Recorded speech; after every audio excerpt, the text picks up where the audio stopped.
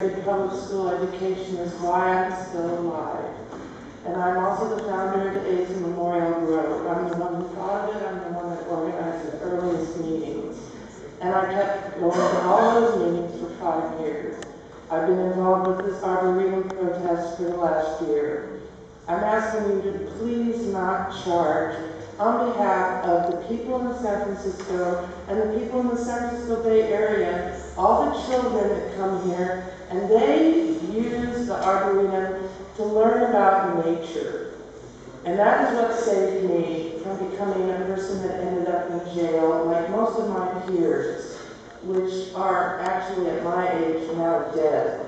So as a native San Franciscan, from a very um, learned position of what greed is all about, just thank you for listening to me tonight.